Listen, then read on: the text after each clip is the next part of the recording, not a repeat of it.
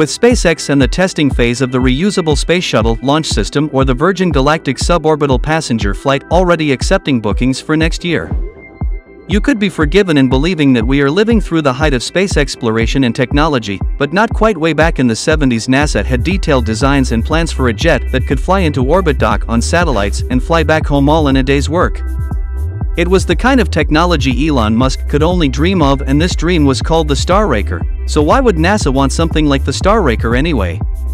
Welcome to Z and please like and subscribe to dig deep into.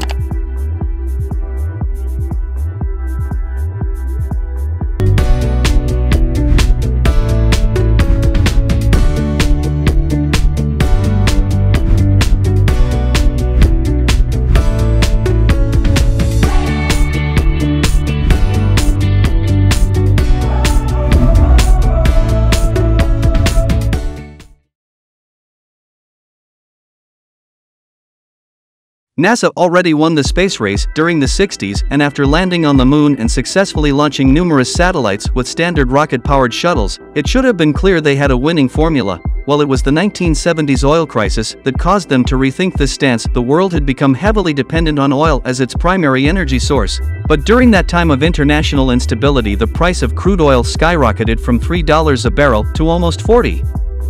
dollars a barrel needless to say the US government were desperate to find an alternative energy source and that's when NASA stepped in with an extraordinary idea they suggested the radical satellite power system. A network of 60 solar power stations in orbit around Earth beaming energy produced from the sun down to power stations in the United States as microwaves.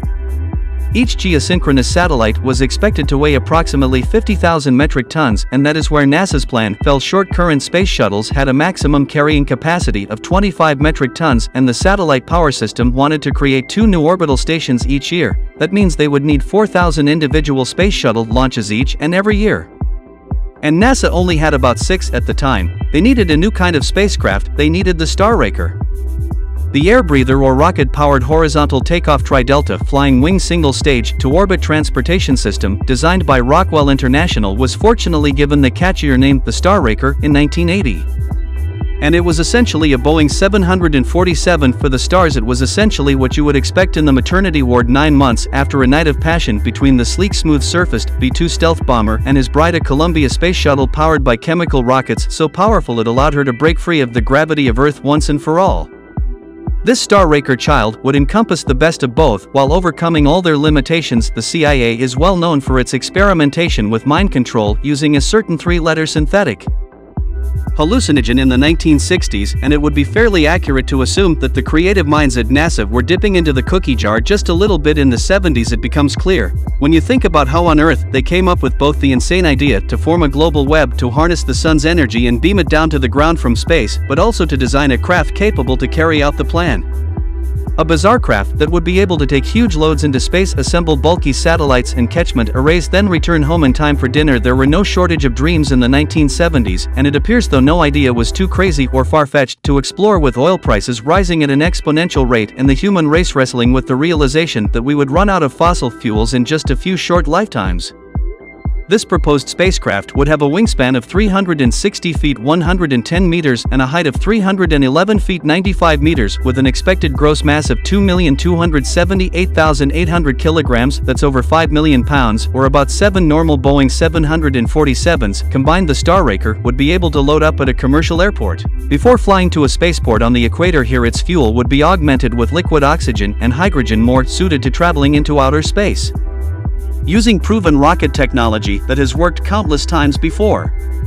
To reach orbit the Star Raker would accelerate to Mach 7.2 at a takeoff speed of 225 knots along a horizontal runway propelled by 10 supersonic ramjet engines once it reached a cruising altitude of 45,000 feet the jet would actually make a rapid 8,000 foot dive this generated enough speed to break the sound barrier. Now traveling at Mach 6 the jet would reach a dizzying altitude of 18 miles 29 kilometers and this is where the 3 million pound Force LOX LH shuttle some type engine rockets kicked in taking the Star Raker its final leg of the journey into orbit. This design was based on horizontal takeoff and horizontal landing. A conventional method of embarking and returning from flight HTHL for short the only difference instead of flying from the S to France and a Boeing passenger jet the Starraker would be popping out the atmosphere and through the other side the current Space Shuttle Columbia design was vertical takeoff and horizontal landing, a method made famous at Cape Canaveral as millions around the world watched the shuttle and its huge rocket sitting poised on the crawler transporter staring skyward as they inched towards the launch pad at a snail's pace, this proved risky as the shuttle and astronauts were strapped to what were essentially booster rockets that could blow up at any minute as was the case with the Challenger shuttle in 1986. This two-stage to-orbit system needed the huge auxiliary thruster to initially break free from Earth's gravity which would be shed along the way the benefits of the HTHL proposed by the Starraker meant less explosive rocket fuel on board as the craft would use its brace of powerful hypersonic ramjet engines to reach that 45,000-foot altitude then maneuver to allow the booster rockets to do the rest. There would be no need for such a sudden violent and sudden release of rocket boost and energy needed to get up off the ground perfectly upright like the VTHL a single stage to orbit approach greatly reduced the risk of catastrophic failure and explosions as the transitions were gentle and within safe working tolerances with the method of getting airborne and into orbit sorted out. What next? Well after docking at the space station the whole nose of the Starraker would swing to the side to expose its payload allowing easy unloading of cargo. It was a simple yet elegant solution to the problem with being able to carry such an immense payload and getting it to where it needed to be safely and in one piece, once it had delivered its valuable cargo of satellite parts needed for the future of the human race, the Starraker would then carry out its arguably most valuable and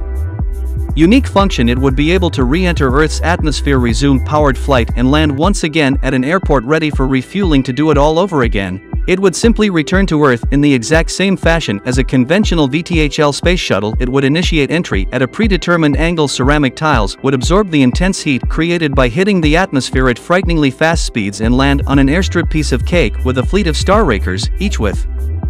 a predicted payload of 100 tons working around the clock ferrying equipment materials and workers suddenly NASA's satellite power system could be a reality they could actually build these giant floating power stations it is hard to believe that something which sounds like it has been ripped straight from a sci-fi movie was a genuine possibility.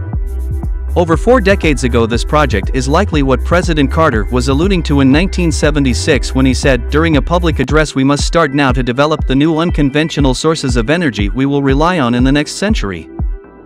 A topic close to his heart as he believed the energy crisis was the moral equivalent to war leading physicist. On the project Robert Jihan said the satellite power system is an attractive challenging worthy project which the aerospace community is well prepared to be able to address and that if some persuasive constellation of purpose should assign this particular energy strategy a high priority it could be accomplished unfortunately or perhaps fortunately those persuasive constellation of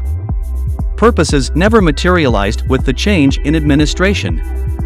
after the 1980 U.S. federal elections and the decline in oil prices during the following decades, many were made to believe the venture to be uneconomic and high risk. In addition, the company that designed the Star Raker Rockwell International, which once upon a time was the largest US defense and NASA contractor, was progressively sold and divided following the peace dividend after the end of the Cold War. NASA isn't as ambitious as it was in previous years, it's focused a lot on Earth and climate.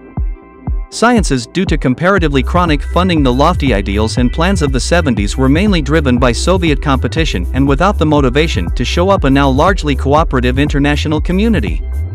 Pie-in-the-sky concepts are no longer feasible or attractive although the Starraker and the satellite power system has been shelved. Some scientists have proposed constructing the satellites from materials collected from the moon which are then launched into our orbit as lower gravity means lower transport costs others go a step further and suggest cutting out the middleman and creating the solar power stations on the moon itself and use smaller satellites to simply relay the generated power. Another left-field idea that NASA has seriously considered is capturing an asteroid into Earth's orbit, the kind that killed the dinosaurs. What could go wrong once in orbit though it can be mined and power stations can be created from the materials extracted. Even back in November 2012 China proposed a long-term space collaboration with India with bringing space solar power to Earth an outcome they specifically mentioned in striving to achieve whatever method we settle on the Tokyo-based Japan Aerospace Exploration Agency has already successfully transmitted energy wireless as microwaves and converted it into electricity now that it has been proven that it can be done. As we search more and more for an alternative energy source out of necessity, the only questions left remaining are how are we going to do it and who will do it. First, many are quick to point out that Elon Musk SpaceX is already utilizing components of Starraker's functionality, but it has to be said that looking for efficient solutions to costly problems isn't a patented concept. Starraker was conceptualized to solve the inexplicably high cost of space travel and cargo logistics with an impending energy crisis as its backdrop SpaceX is doing the same thing only from a different perspective. NASA's plan to build this supersonic spaceplane is just one crazy example of the incredible accomplishments we can make and unbelievable lengths we will go. If we think outside the box to solve the problems that come up there may just be a silver lining to worldwide climates or disasters that arise they very well may be the catalyst to a new and exciting technology that will give us a future we never would have believed at the very least if we're getting future retro tech how about a Moonraker laser. Thanks for watching and stay tuned to watch the next video.